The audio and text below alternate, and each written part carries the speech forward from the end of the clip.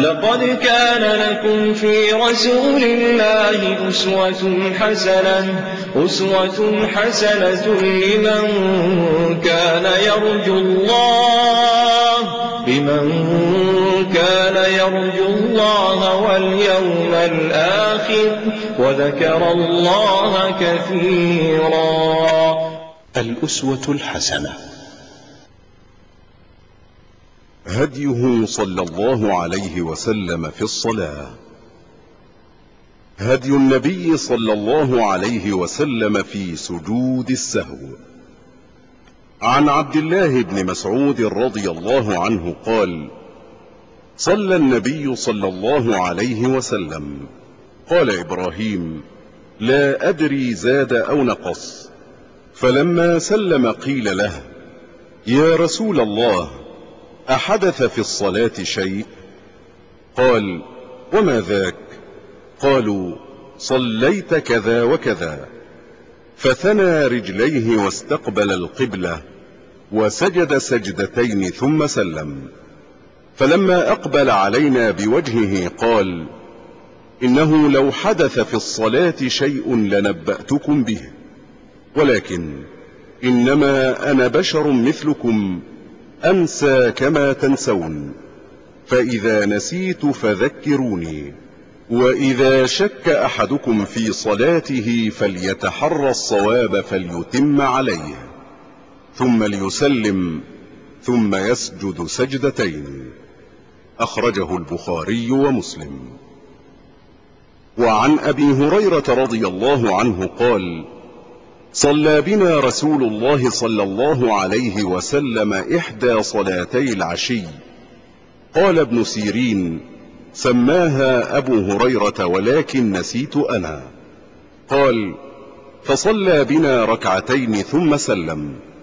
فقام إلى خشبة معروضة في المسجد فاتكأ عليها كأنه غضبان ووضع يده اليمنى على اليسرى وشبك بين أصابعه ووضع خده الأيمن على ظهر كفه اليسرى وخرجت السرعان من أبواب المسجد. فقالوا قصرت الصلاة وفي القوم أبو بكر وعمر فهابا أن يكلماه. وفي القوم رجل في يديه طول يقال له ذو اليدين قال يا رسول الله أنسيت أم قصرت الصلاة؟ قال لم أنس ولم تقصر. فقال أكما يقول ذو اليدين؟ فقالوا نعم. فتقدم فصلى ما ترك ثم سلم ثم كبر وسجد مثل سجوده أو أطول. ثم رفع رأسه وكبر ثم كبر وسجد مثل سجوده أو أطول. ثم رفع رأسه وكبر فربما سألوه ثم سلم فيقول نبئت أن عمران بن حسين قال ثم سلم. أخرجه البخاري ومسلم. وعن أبي سعيد الخدري رضي الله عنه قال قال رسول الله صلى الله عليه وسلم إذا شك أحدكم في صلاته فلم يدر كم صلى ثلاثا أم أربعا فليطرح الشك وليبني على ما استيقن. ثم يسجد سجدتين قبل أن يسلم. فإن كان صلى خمسا شفعن له صلاته. وإن كان صلى إتماما لأربع كانتا ترغيما للشيطان. أخرجه مسلم.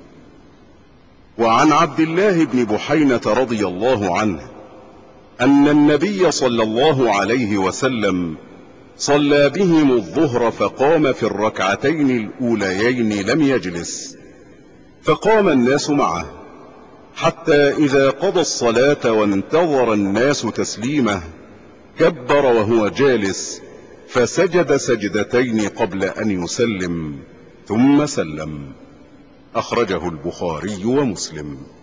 وعن عبد الله رضي الله عنه أن رسول الله صلى الله عليه وسلم صلى الظهر خمسا فقيل له أزيد في الصلاة؟ فقال وما ذاك؟ قال صليت خمسا. فسجد سجدتين بعدما سلم. أخرجه البخاري ومسلم.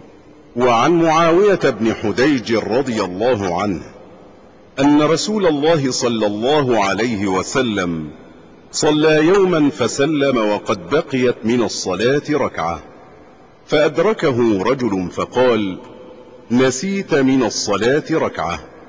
فدخل المسجد وأمر بلالا فأقام الصلاة فصلى للناس ركعة فأخبرت بذلك الناس فقالوا لي أتعرف الرجل؟ قلت لا إلا أن أراه. فمر بي فقلت هذا هو. قالوا هذا طلحة بن عبيد الله. أخرجه النسائي. سئل الإمام أحمد رحمه الله عن سجود السهو قبل السلام أم بعده؟